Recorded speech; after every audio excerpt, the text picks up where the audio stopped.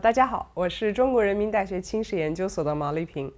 中国历史上啊，从秦始皇称帝以来，到末代皇帝溥仪退位，历经了两千多年的封建帝制。所以啊，溥仪不仅是清朝的最后一位皇帝，也是中国历史上的最后一位皇帝。那我们今天呢，就来讲讲溥仪这位末代皇帝。爱新觉罗溥仪是光绪皇帝的侄子。他三岁继承皇位啊，名义上是同治帝的私子，兼跳光绪皇帝。他的年号是宣统，按照我们习惯用年号来称呼清朝皇帝的做法，我们本应该称他为宣统帝。但是啊，大家对这个说法可能远不如末代皇帝或者直接就是他的名字溥仪来的更熟悉。主要原因，一方面是由于溥仪在位的时候啊年龄太小，这个在位的时间可能太短了，并没有真正行使过一个皇帝的职权。另一方面啊，他主要的人生经历都是在退位以后，啊，后来还变成了一名中华人民共和国的普通公民，所以啊，用名字来称呼他，确实更符合他普通公民的身份，以及他希望成为一名普通公民的愿望。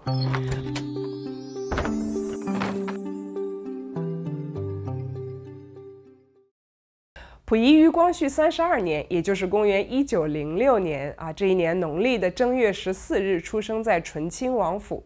他的父亲载沣，由于是第二代醇亲王，人称小醇王。那老醇王就是第一代醇王奕轩啊，是道光皇帝的第七子。在辛酉政变当中，奕轩与哥哥恭亲王奕欣共同帮助两宫太后推翻了顾命八大臣，掌握了实权，因此后来也是备受重视，被慈禧加封为铁帽子王，成为皇室当中地位最显赫的亲王之一。这个我们以前都讲过哈。载沣是奕轩的侧室所生，本来承袭王爵的希望并不大。不过啊，大家都知道，由于奕轩的嫡福晋是慈禧太后的亲妹妹叶赫那拉氏，她所生的嫡子载湉被慈禧选入宫中，成为了光绪皇帝。于是啊，醇亲王这个爵位就落到了载沣头上。我们在之前的节目当中也讲过，慈禧对载沣或者说对醇王家族，那一直是非常重视和关注的。这一方面是由于清朝从同治皇帝开始就无后了，而同治又是咸丰的独子，所以啊，同治死后，皇室中从血缘上讲最亲近的就是咸丰皇帝的诸位兄弟了。而作为咸丰帝亲弟弟的奕轩啊，无论是从亲缘关系上，还是从个人特质上，都是慈禧理想的操控人选。加上其子又成了皇帝啊，这就让醇王府与宫廷之间的联系更为紧密。呃，我在之前的节目当中提到过啊，慈禧在西逃回来的路上，亲自给载沣指了婚。福晋选的是啊，慈禧自己的亲信荣禄的女儿瓜尔佳氏。呃，我们也讲到慈禧这一举动的含义在于，等载沣与瓜尔佳氏生育了子嗣之后，这个孩子就可以继承光绪皇帝的皇位。所以啊，早在溥仪出生之前的四年多，就有一个皇位在等着他了。关于溥仪的父母啊，父亲载沣不仅是继承了醇王的爵位，也继承了他父亲奕轩的性格特点啊，胆小懦弱、优柔寡断。但这正是慈禧需要的性格特质，所以啊，载沣是挺受重视。而溥仪的母亲瓜尔佳氏则性格霸道跋扈，很有奇人女孩子的那股霸蛮劲儿。溥仪在我的前半生当中描述啊，他母亲在嫁入醇王府之后，就要求大家都称他为老爷子，大概是模仿慈禧让别人称呼他为老佛爷啊，代表自己的地位很高。呃，有一天载沣回到家中，看到家里的窗户还都开着，就问府里的太监说：“怎么不关好窗户呢？”啊，得到的回答是：“奶奶还没回来呢，不忙关。”气得载沣就罚他蹲在地上反省啊！旁边的女仆还帮着主人训斥这个太监说：“要是老爷子还不把你打成稀烂啊！”意思是你就庆幸这个罚你的是王爷吧，只给你这么轻的惩罚。可见瓜尔佳氏在家里的厉害程度。而当瓜尔佳氏不负慈禧的众望，生下了嫡长子溥仪之后，他在王府当中的地位就更高了。当时溥仪的出生啊，可不仅仅是王府的喜事，也是整个皇室的喜事。毕竟载沣是光绪皇帝的亲弟弟，溥仪是皇帝的亲侄子，是和皇帝血缘上最为亲近的皇室后代。当溥仪出生的消息报告到宫里，光绪皇帝还专门发布了上谕，按照皇族的辈分排序，给纯王载沣第一子命名为溥仪。这个时候给侄子起名的光绪帝心情应该是很复杂的。一方面啊，他应该为自己家族增添了人丁而感到高兴。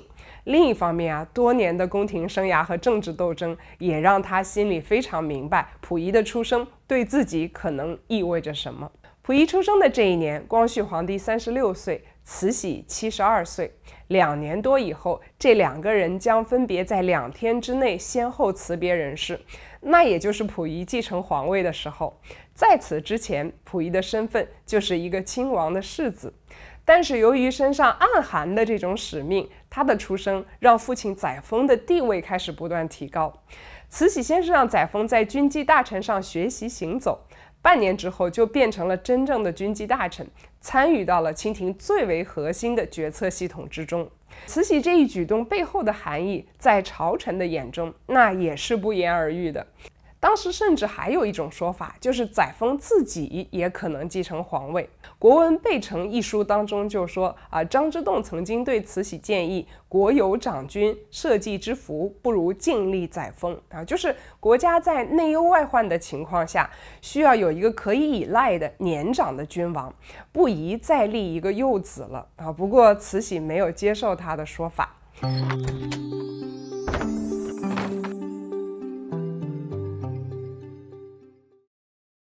光绪三十四年十月二十日，垂危之际的慈禧发布懿旨，将溥仪送入宫内教养，在上书房中读书。溥仪在回忆录中说：“啊，当载沣带着这道懿旨回家迎接儿子入宫的时候，那整个王府上下陷入一片混乱。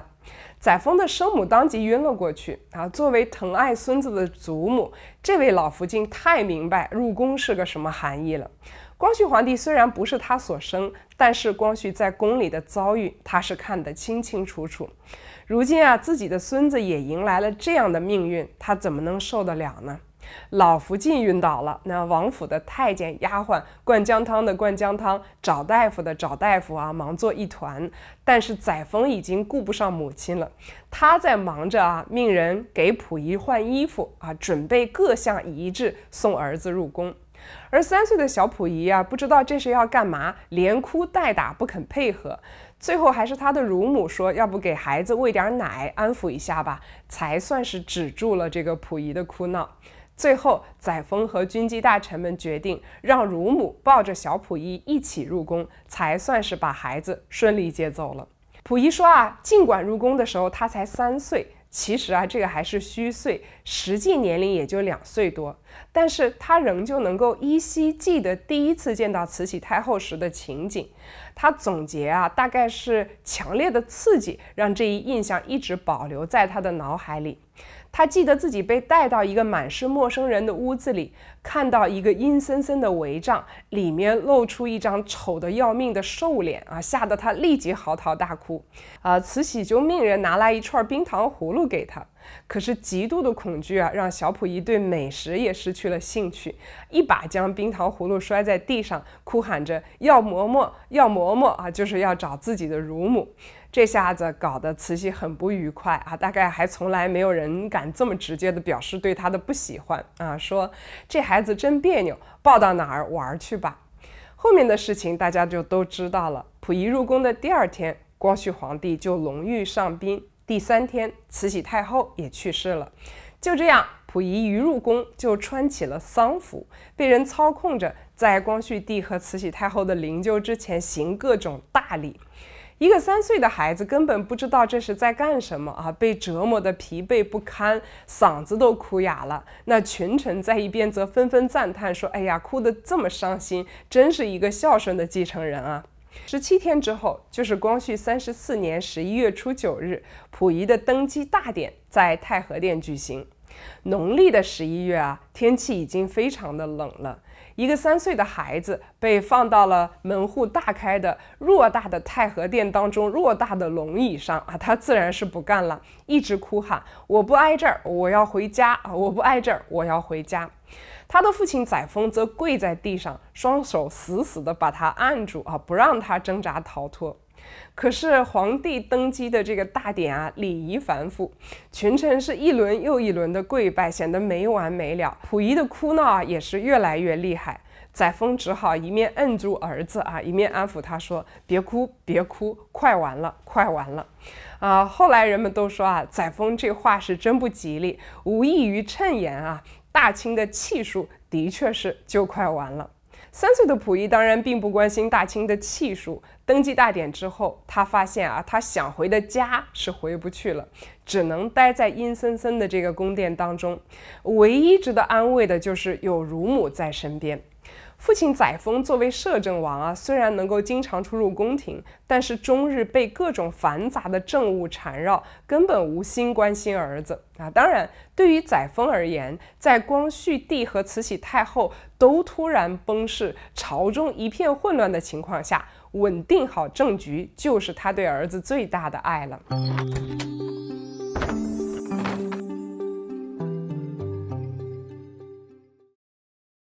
呃，在此期间啊，载沣主要做了两件事。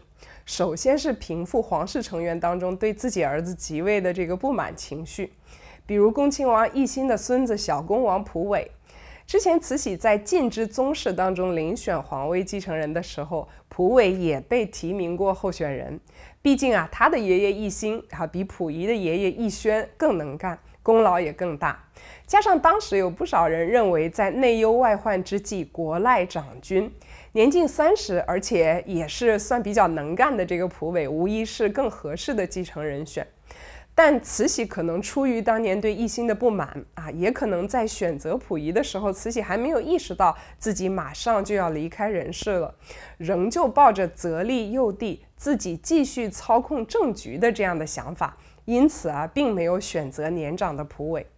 慈禧去世之后，溥伟很不满，几次大闹宫廷，载沣只好对他进行各种抚慰啊，还表示以后会重用他，慢慢的抚平了溥伟的情绪啊。此外啊，还需要安抚的就是新晋太后叶赫那拉氏了，啊，她是光绪皇帝的皇后，慈禧的侄女。溥仪即位之后，她被尊为隆裕太后啊。但是对于慈禧临终让溥仪即位、载沣摄政的这个做法，隆裕心中难免也有所不满。自己的姑妈做了将近五十年的临朝太后，怎么到自己这里就不能像她一样太后秉政啊，而是把主要的权力给了载沣呢？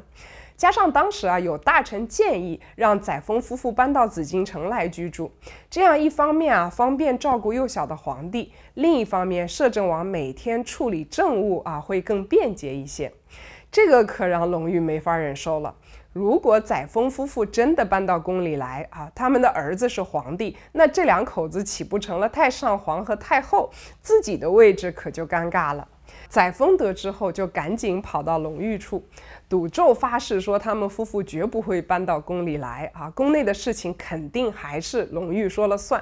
作为摄政王，他绝不干预后宫的秩序，这样才算是把隆裕太后给稳住。载沣做的第二件事就是罢黜袁世凯啊！我们之前讲过，在戊戌变法将要失败时，光绪皇帝和新党曾经想要谋求手握兵权的袁世凯的支持。但是啊，袁世凯表面向皇帝表忠心，暗地里却跑到后党一边出卖了维新派。当然，袁世凯到底有没有向后党告密啊？学界还有所争论。但狡猾的他并没有帮助光绪帝和维新派，这个是毫无疑问的事实。啊，我们也说过，光绪因此一直痛恨袁世凯啊，经常画个小乌龟，上面写上袁世凯的名字，然后把这个纸片撕得粉碎。载沣成为摄政王之后，怎么处理袁世凯啊？这个的确是个问题。先抛开袁世凯是否出卖了自己的哥哥不谈，当时朝中的局势是袁世凯用重金买通了宗室重臣奕匡，两人沆瀣一气。袁世凯又手握重兵啊，这个对载沣摄政王的权力形成了很大的威胁。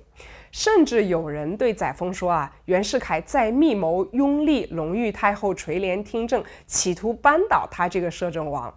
这可是载沣无论如何都没法容忍的了。除掉袁世凯势在必行。载沣先和满洲亲贵们商量如何除掉袁世凯。大家主张啊，干脆将袁世凯杀掉。特别是蒲伟很想立此奇功啊，表示自己可以用曾祖父道光皇帝赏赐给祖父奕欣的这个御赐宝刀。我们讲奕欣专题的时候讲过这把刀啊，大家还记得吗？蒲伟表示啊，自己就用这把象征无上权威的宝刀，直接把袁世凯给杀了，不就完了？但是啊，载沣没有同意蒲伟的主张。他优柔寡断的性格在这个时候又开始作祟了，总是觉得宗室这样直接杀人，哎，是不是不妥啊？也或许啊，他是担心蒲伟杀了大家都痛恨的袁世凯之后，会更加居功自傲、气焰嚣张啊，那就更难控制了。于是就说，还是召集军机大臣们商量一下该怎么处理此事吧。但这里面的问题是啊，袁世凯自己就是军机大臣，在军机处也有自己的派系啊。刚才我们讲了，领头的奕匡就是他的死党。现在载沣却要召集军机大臣讨论如何处理袁世凯，这实在不是一个明智的选择。很快啊，军机大臣们就前来开会，只有袁世凯被拒之门外，这让他意识到形势可能对自己很不利了。所以就在大家商量的时候，袁世凯就买了一张火车票，哈，跑到天津去了。那我们回到军机大臣会议这一边啊，奕匡首先不同意除掉袁世凯，甚至哭着为袁世凯求情。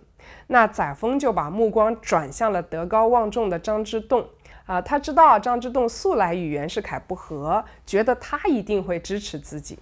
没想到张之洞却表示。主少国疑，不可轻于诸路大臣。就是说，在目前局势不稳定的情况下，轻易诛杀重臣，可能会引起朝廷内外的恐慌，这不是一个明智的做法，起码当前不应该这样做。载沣啊，被张之洞说服了，决定不杀袁世凯，只将其撤职。之后又在奕匡的这个运作之下，连撤职的说法都被改成了是袁世凯患有足疾啊，就是脚有病，让他回老家养病而已。袁世凯的革职离任看起来啊是给载沣扫清了一个摄政的障碍，但是作为历史研究者的后见之明，我们都知道载沣的一时手软，实际上是给儿子和清朝的后来的局势都埋下了一个巨大的隐患。